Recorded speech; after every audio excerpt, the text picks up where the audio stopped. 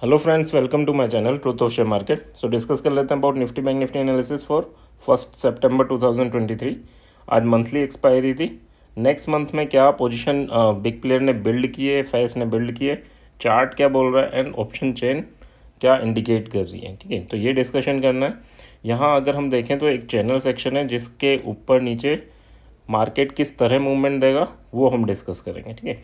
सो start करते हैं first of all this video is only for education purpose यहाँ मेरा telegram link and WhatsApp number given है। So please join कर लें स्टार्ट करते हैं विद बिग प्लेयर डेटा तीन हज़ार करोड़ की एफ़ आई एस ने सेलिंग की है तियालीस सौ करोड़ की डी आई एस ने बाइंग की है ठीक है?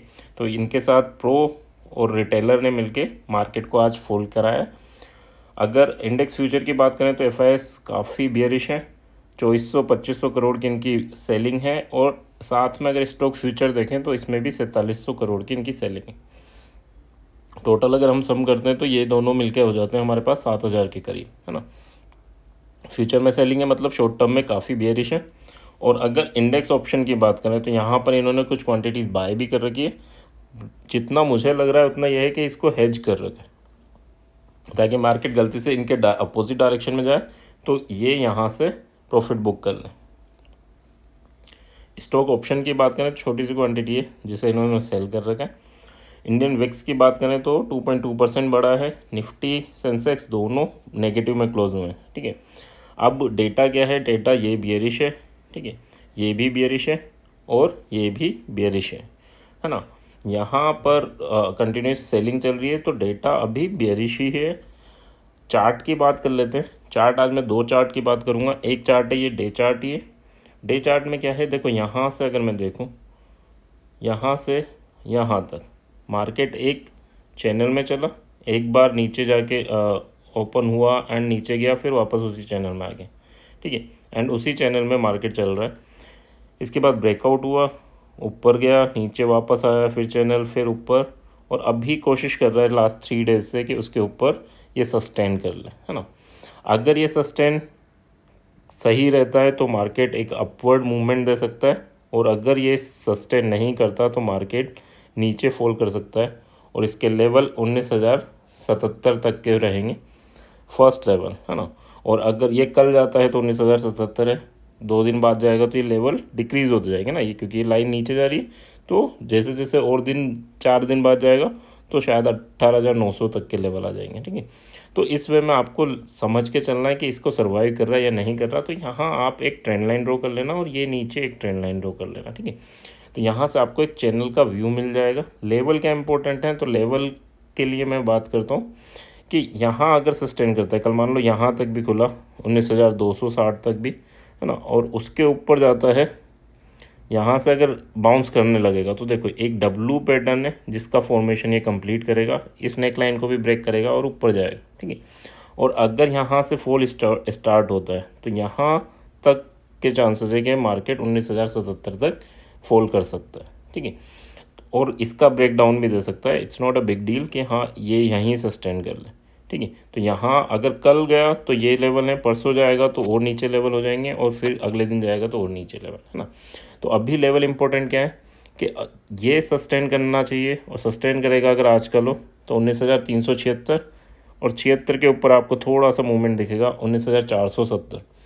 और जैसे ही ये चार सौ पचास, चार सौ साठ के ऊपर जाता है तो फिर एक बुलिश मूवमेंट आपको स्टार्ट होता दिखेगा टुवर्ड द उन्नीस हज़ार छः सौ पचास तक, है ना? पाँच सौ पचास एंड छः सौ पचास तक। तो अगर मार्केट साइड वे खुले, यहीं रहे तो अवॉइड करना ट्रेड उन्नीस हज़ार तीन सौ पिचहत्तर के ऊपर हम बाय करेंगे फॉर द टारगेट ऑफ़ चार सौ इकहत्तर एंड पाँच सौ चौवन सेल कब करना है?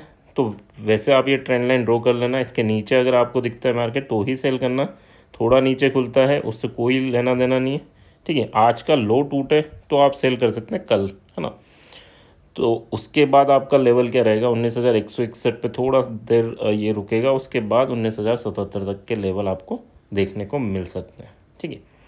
नेक्स्ट बात कर लेते हैं बैंक निफ्टी की। बैंक निफ्टी का फॉर्मेशन क्या है? चार्ट स्ट्रक्चर की बात करूँ तो देखो चार्ट स्ट्रक्चर क्या कह रहा है कि ये इसने शोल्डर बनाया हेड बनाया एंड देन शोल्डर बना रहा है। अब ये शोल्डर अगर ये हो सकता है कि चार पाँच दिन यहीं काट दें, है ना? जैसे यहाँ पर काफ़ी दिनों तक कंसोलिडेशन किया था। तो अगर ऐसा हो तो लेवल लेके चलना कि हाँ यार, इसके नीचे ही मैं बाय करूँगा या सेल करूँगा अदरवाइज़ मैं अवॉइड करूँगा, ठीक है? इसके ऊपर अच्छी बाइंग बनेगी और इसके नीचे अच्छी सेलिंग बनेगी, ठीक है? तो जब तक ये यहाँ पर रेंज बाउंड रहे तो आप भी कोशिश करना कि हाँ हम भी इस रेंज को प्ले करें। यहाँ ऊपर दिखे आपको ये रेंज ठीक है? तो यहाँ पर आप सेल करना इस रेंज के लिए और यहाँ पर बाय करना इस रेंज के लिए, ठीक है? ये तो चार्ट का फॉर्मेशन है लेवल की बात कर लेते हैं। लेवल क्या कह रहा है? अच्छा हाँ प्लीज़ लाइक शेयर सब्सक्राइब ज़रूर कर, किया कीजिए। लाइक और कमेंट ज़रूर कर दिया कीजिए ताकि मुझे पता रहे कि हाँ आप लोग सपोर्ट कर रहे हैं ना। सो लेवल की बात कर लेते हैं। लेवल क्या है? चौवालीस हज़ार एक सौ सत्तावन के ऊपर जाएगा। तो आपको चौवालीस हज़ार चार सौ तक के लेवल और फिर सात सौ तक के लेवल ये अपवर्ड डायरेक्शन में देखने को मिल सकते हैं। नीचे अगर इसने देखो, ये पैटर्न का ब्रेकआउट किया तो फिर एक फॉल आपको दिखेगा। कहाँ? तियालीस हज़ार आठ सौ अस्सी के नीचे तियालीस हज़ार छः सौ और दिया तियालीस हज़ार दो सौ सत्तर। तो ये आपके लेवल होंगे।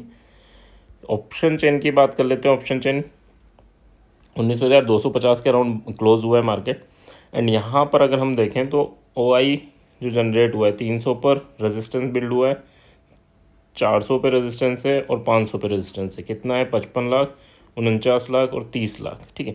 अब रेजिस्टेंस की बात कर लेते हैं सॉरी सपोर्ट की बात कर लेते हैं तो सपोर्ट कहाँ बिल्ड हुआ है? उन्नीस हज़ार तीन सौ पर सपोर्ट बिल्ड हुआ है ना? यानी इनको उम्मीद है कि थोड़ा बहुत गेप अप होगा या थोड़ा बहुत ऊपर आएगा तो फिर ये एग्जिट कर लेंगे अपनी प्रीमियम डिके करके, ठीक है? एंड नेक्स्ट सपोर्ट क्या है? चौवालीस हज़ार दो सौ पर एक सपोर्ट है। तो दो सौ, तीन सौ। उसके बाद सपोर्ट उन्नीस हज़ार पे डायरेक्ट है ना? वो भी ज़्यादा बड़ा सपोर्ट नहीं है। अट्ठाईस हज़ार वहाँ ऑप्शन राइटर बैठा है। ठीक है? बट एक और सपोर्ट उन्नीस हज़ार चार सौ पे भी निकल के आ रहा है। तो ये ये जो दो चीज़ें ना, उन्नीस हज़ार तीन सौ पे सपोर्ट और चार सौ पे सपोर्ट जो बिल्ड हुआ है, ये एक पॉजिटिव इंडिकेशन तो दे रहा है ना? बट मार्केट सुप्रीम है। हम डेटा बेस बात कर सकते हैं बट बाकी क्या होगा? वो देखना होगा, है ना?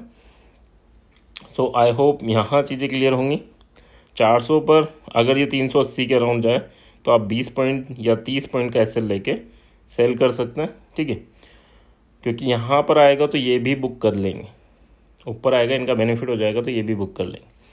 और अगर इसके बाद कहाँ पुट बाय कर सकते हैं तो पुट आप फिर नेक्स्ट बात बाय कर सकते हैं पाँच सौ पचास में। तो चार सौ या तीन सौ अस्सी पे दिखे तो चार सौ दस का एस लेके आप पुट बाय कर सकते हैं। पाँच सौ पचास पे दिखे तो आपको तीस पॉइंट का एसएल लेके यहाँ पर भी पुट बाय कर सकते हैं, ठीक है? तो दो जगह पुट बाय कर सकते हैं। कॉल कहाँ बाय कर सकते हैं? तो उन्नीस हज़ार सतहत्तर, जो हमारी चैनल का नीचे का लेवल आ रहा है, उन्नीस हज़ार सतहत्तर। वहाँ हम कॉल बाय कर सकते हैं, ठीक है? With thirty points S L लेके, यानी फिफ्टी फोर्टी तक, ठीक है? उन्नीस हज़ार चालीस पर हम निकल जाएँगे, अगर हमारे अपोजिट डायरेक्शन में जाएगा तो और कहाँ हम call put sorry call buy कर सकते हैं। एक कॉल का लेवल ये भी है, तीन सौ यानी चार सौ दस के ऊपर। अगर सर्वाइव करता है तो आप कॉल बाय कर सकते हैं। ठीक है with three seventy as S L ठीक है तो एक चार सो दस पे यहाँ पर कॉल बाय कर सकते हैं। जहाँ हम पुट का एस एल लेंगे, उसी लेवल की बात कर रहा हूँ, है ना? तो यहाँ पर आप कॉल बाय कर सकते हैं। सो आई होप चीज़ें क्लियर होंगी। कहाँ कॉल कहाँ पुट बनेगा? एंड अगर हम बात कर लें बैंक निफ्टी की, बैंक निफ्टी की बात करें तो तियालीस हज़ार चार सौ सॉरी चौवालीस हज़ार के अराउंड क्लोजिंग है। चौवालीस हज़ार पर अगर हम देखें रेजिस्टेंस एंड सपोर्ट इक्वल है।